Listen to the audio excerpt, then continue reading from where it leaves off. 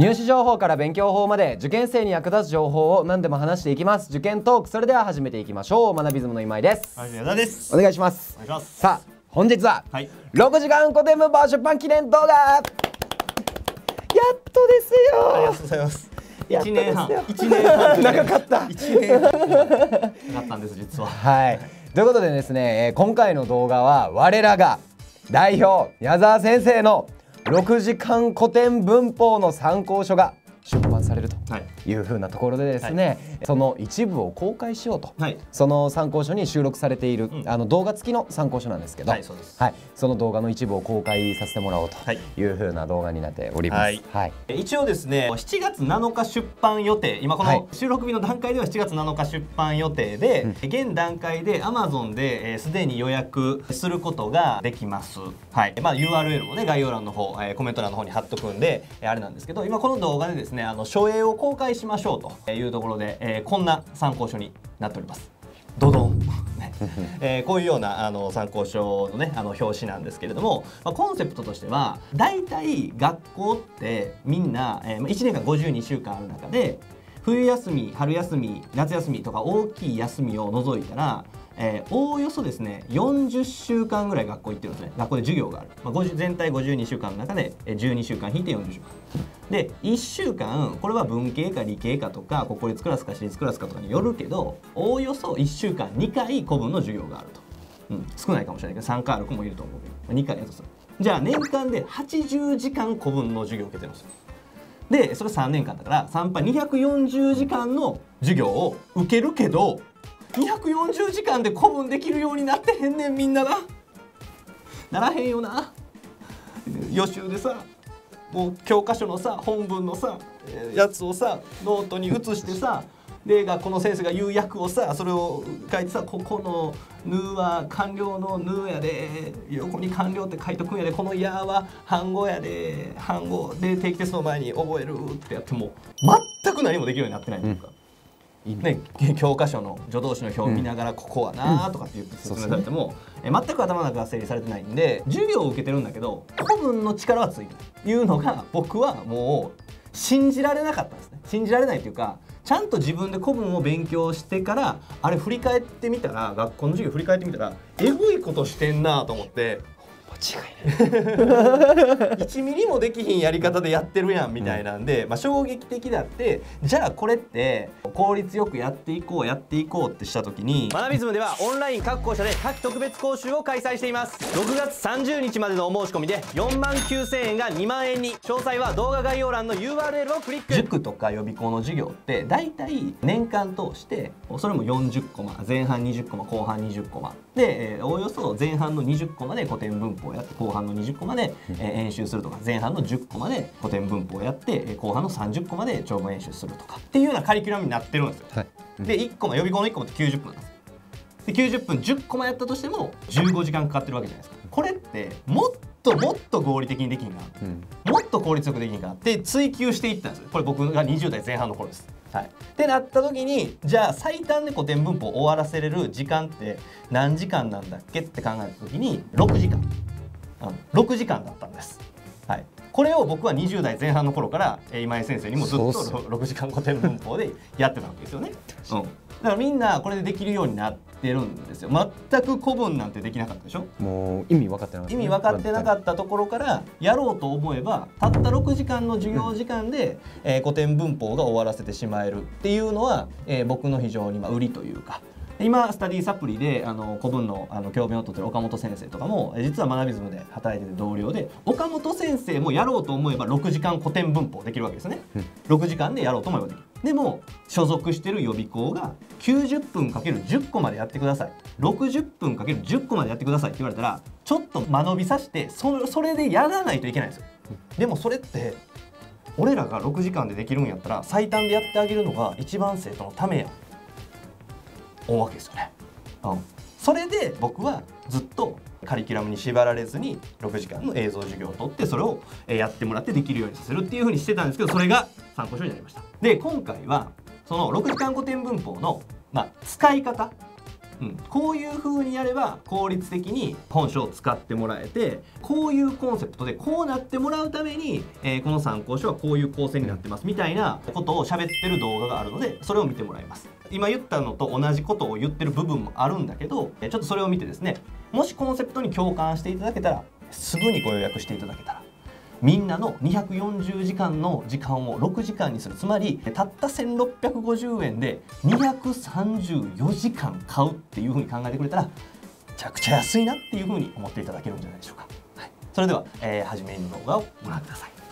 こんにちは、学びずの矢沢です。この動画では6時間古典文法をですね、最大効率で利用していただくために、著者の僕自身がですね、えコンセプトであったり、レベル構成使い方っていうのを説明していく動画になってます。だからね、もう適当に参考書買って、とりあえずやったら成績伸びるんでしょもうそういう子はもう一切結果が出ないし、成績も伸びないので、ちゃんと僕の言う通りに、ぜひ本書やっていただきたいと思います。そしたらですね、古典文法ができないわけがないんで、絶対にできるようになるから OK だから僕の言う通りねやっていただきたいと思います。それでは早速ねコンセプト見ていきましょう。はい本書のコンセプトはですね240時間を6時間に最後には10分にというふうに書いておきました。どういうことかとえーいうとですねこっちに計算式書いておいたんですけど、えー1年間ってえー365日。まあ7で割ったらおおよそ52週間ありますよね。で、えーみんながですね学校に行ってる週っていうのは例えば春休み夏休み冬休みとかっていうのを、えー減らすとですねおおよそですね40週間ぐらい。ね40週間ぐらい学校に行ってます。でそこで授業があるわけなんですけどその授業の中で、えー、大体ですね古文の授業って、まあ、英語とかと比べたらね、え少ないと思いますから、えー週に2時間程度。ねえーまあ、どこの高校行ってるかにもよりますが週に2時間程度。でそれで80時間1年間で、えー古文の授業を受けていると、えーそれが3年間続くわけですからおおよそ学校の授業で古文を取り扱ってるのって240時間ぐらいあるわけなんですね。これ240時間の古文の授業を6時間にたったの6時間にまとめちゃいますっていうのがこの本書のコンセプトです。そして本書が終わった後はもちろん僕の講義を何回も何回も見る必要はないです。もちろんね分からなかったら何回も見てくれたらいいですよ。見てくれたらいいんですけど復習の時間は短ければ短いほどいい。で、えー本書はですね、まあ、ミニブックっていうのは後で説明しますがミニブックをやれば、えー最後には10分程度でこの3年間でやる古典文法っていうのを復習してしまいますから240時間が講義時間6時間にみんなの復習は10分で3年間を復習できる状態にするっていうのが、えーコンセプトです。じゃあ続いてレベルいきたいと思うんですがもうそうやって矢沢先生言うから、えーだからこの参考書めちゃめちゃできる子がやる参考書じゃないの、えー授業もめっちゃ早いんじゃないの？っていうふうに思うかもしれないけど、えー僕の中では中学生でも分かるように、え説明します、え中学卒業レベル、まあ、中学卒業レベルっていうのは、え基本的には中高一貫校とかだったら、え中2とか中3からでもいいよね、え僕がイメージしてるのは未然連用終始連帯以前命令って聞いたことある。かかり結びの法則？聞いたことある。でもかかり結びの法則って何？って言われたらまあ、まあ、ゾーンな、うんなんか聞いたことあるけどかかりもあんま分からへん。みたいな状態の子。ね？聞いたことはあるよね？みたいな。でそれを最難関大学突破レベルまで持っていきます。えつまりこの6時間古典文法たった6時間しかないんだけれどもあの東大京大とかそれを含む宮廷大とかで、えー古文の問題に立ち当たった時に古典文法の力を使わないといけないってなった時にこの本書の内容だけで全て戦えます。最難関大学まで。はい、安心してください。だからもう全然わからないような状態からめちゃめちゃ古文できるようになります。はい安心して信じられないかもしれないけどね。ねここで。信じてついてきて最後まで。はい。じゃあ続いて構成ね。構成いきますけど、はいえー全部で9章構成です。で1章ごとに講義要点整理一問一答基本練習っていう風に続いていくんですが講義っていうのが、まあ、参考書の理解を促す、えー読み物部分です。ね。えーでそこをまとめたとこ大事なことをまとめたのが要点整理という箇所で、えー要点整理をさらに一問一答形式で問題化したのが、えーこの一問一答、まあ、一問一答形式って言っちゃったけど一問一答ね。でこれを一問一答をちゃんと自分の頭の中から出せるかなっていうのを練習するのが基本練習でこの1章4項目構成になってます。あとは別冊がついてて別冊は基本練習の回答解説がついてるしミニブックは一問一答であったり要点整理とかの特に重要なところだけをまとめている、えー冊子になってます。OK ですか？はい。じゃあこういう構成になってますと。じゃあそこから、えー使い方に行きますがどう使っていくか。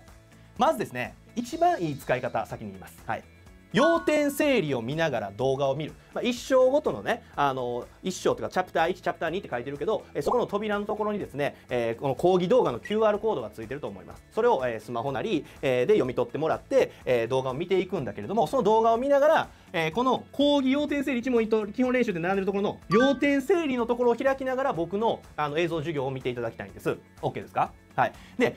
映像授業を見れない環境ね、僕の例えばイヤホンつけれなかったりとか授業を見れない環境だったら講義の部分を読んで、えもらっていいんですけど基本的には映像授業を見ていただきたいなというふうに思います。ね、であとはもう映像は何回も何回も別に見なくていいから、え映像を見てちょっとそこここだけ復習したいよなみたいなところは講義のところに戻ってもらって、えそこを読むというような形ですね。OK ですか、はい、まずは動画見ます。要点整理見ながら動画見ます。続いて一問一答を暗記していってください。ね、一問一答ってただ丸暗記していくだけだったら本当に、ね、価値がないんですけどちゃんと理解した上で重要なところを覚えていくっていう形で一問一答を利用できれば、えー、非常に有効です。なので1番の要点整理を見ながら動画を見て理解しました。で覚えないといけないことを覚えるっていうのが一問一答の暗記です。OK で覚えました。そしたら覚えたものが出るかなっていうのを確認するために練習問題ね。基本練習のところで問題をやって丸付けして、えー、やってみると、ね、間違ったところは解説を読む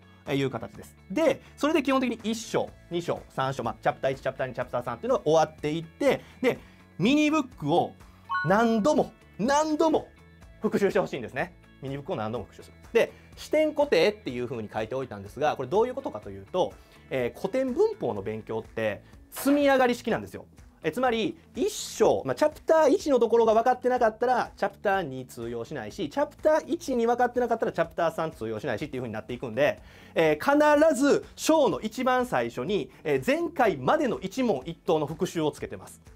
OK だから5章だったら1234章全ての一問一答の復習をつけてます。なんでそれをね見てあ復習になったじゃなくて、えー、自分の中で5章やるんだったら1から4章までの1問1答は完璧に覚えてるよねっていう状態で5章入ってほしいわけ。6章だったら1から5章、ね、チャプター9入るんだったら1から8のところまでを完璧にして1問1答全部覚えた上で、えー、チャプター9に入ると。いう形にしていただきたいんですね。これを視点固定と言います。前前で軸足を固定して1 2 3 1から4 1から5こういう形で、えー、進めていってください。でその時にミニブックが、えー、非常に、えー、活用できます。OK で第9章チャプター9まで全部ね本書が、あのー、1冊終わればですね最終的にミニブックに、えー、一問一答がまとまってますからその一問一答のところをですね、えー、全て、えー、暗唱する。言ったらもう最初から何回も何回もやってるからそんな空ではないんだけど、えー、このミニブック1冊をペラペラペラペラ口に出して、えー、言う活用する品種4つは動詞形容詞形容動詞助動詞とかっていうのをねあの言っていくんですけど、えー、それを言うのがちゃんとできてたら10分以内で終わります。逆に10分以内でそれを終わらせれないんだったらまだ古典文法完璧じゃないんで最終ゴールはミニブックの完成。ミニブックの完成ってどういう状況かって言ったらあのミニブックを10分以内で、えー、ペラペラペラペラ言いながら復習できる状態。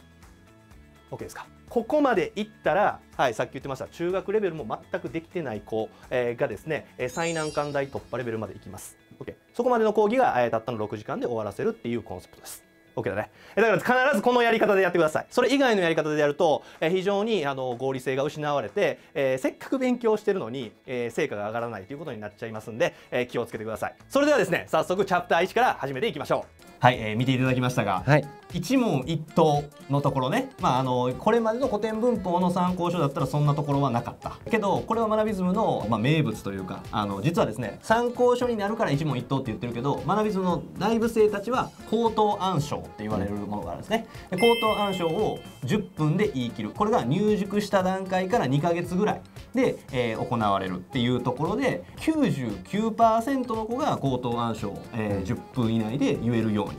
なってますよね。なってます。はい。なので240時間が授業動画が6時間。しかも、えー、古典文法3年間の全復習がですねなんと10分でできる、えー、参考書になっておりますので、えー、ぜひとも、えー、書店、えー、来週は Amazon などでご予約ご購入いただければと思いますそれではこの動画はここまでにしましょうありがとうございましたありがとうございました